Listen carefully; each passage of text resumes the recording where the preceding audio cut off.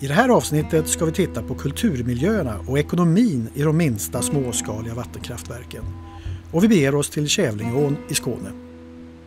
Först ska vi träffa Jakob Marktorp, en av alla antikvarier som arbetar på våra länsstyrelser. Hur ser de på vikten av att säkerställa en god naturmiljö på ställen där det också finns kulturmiljövärden? Finns det konflikter mellan de två miljömålen och går de i så fall att lösa? Platser som den här kraftverksmiljön och andra dammmiljöer har betytt väldigt mycket historiskt för bygden och betyder idag väldigt mycket för vardagslandskapet och de människorna som verkar i det.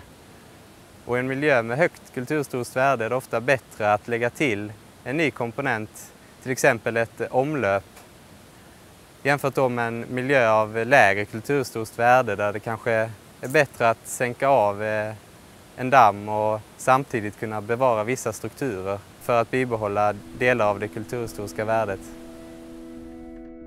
Slutsatsen verkar vara att om det är viktiga kulturmiljöer så måste de tas hänsyn till när vi återställer efter gamla vattenverksamheter som kraftverk och dammar som inte används idag.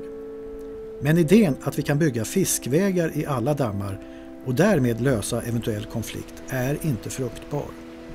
I Sverige och EU samt i stora delar av övriga världen är det den verksamhet som påverkar miljön negativt som också betalar för de skyddsåtgärder som krävs för att minska denna negativa påverkan.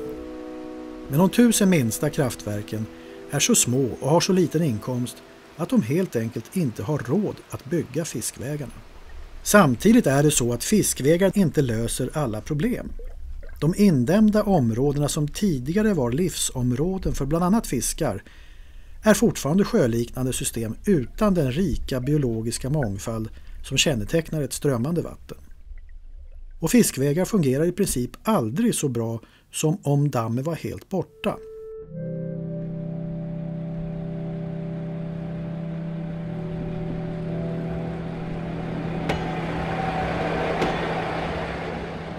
Nu ska vi besöka en av de många ägarna till ett småskaligt kraftverk för att höra hur han ser på utmaningen med ekonomi, kulturmiljöer, nya krav som i slutändan kanske betyder att han måste avveckla sitt vattenkraftverk.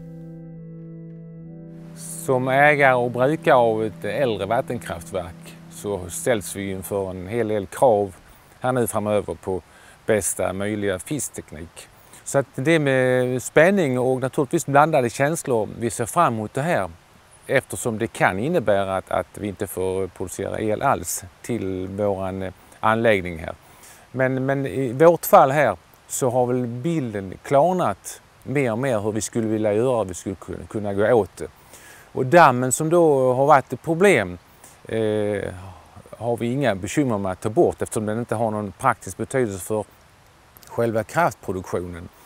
Och eh, i och med att den tas bort och man förlänger intagskanalen och gör ett, ett eh, helt annat eh, dämme längre upp som kan bli ganska naturligt så, så tycker vi det, det känns eh, som en spännande utmaning att kunna göra detta. Men eh, primära är ju att vi vill ha en anläggning som är, är sanktionerad av samhället och som är fiskvänlig. Det, det, det tycker jag är ett rimligt krav man kan ställa.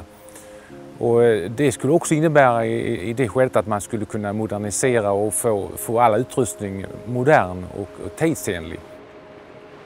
Det är ju så att vi, vi känner väl inte att vi har eh, drivit någon olaglig verksamhet utan det här har ju blivit krav som då eventuellt samhället har ställt på att, att man inte vill ha den här typen av verksamhet. Och om det då ska läggas ner så, så, så bör ju, tycker jag, staten gå in med den kostnaden. Ja, Lars kanske har råd med både miljöprocess i domstol och kostnader med fiskvägar.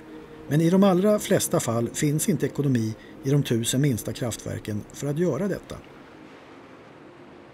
Tack vare en ny praxis i Mark och miljööverdomstolen 2012 har Lars och runt 500 andra ägare till småskaliga kraftverk ställts inför en ny situation. De gamla begreppen urminnes hävd och privilegiebrev motsvarar inte längre ett tillstånd enligt nuvarande lagstiftning.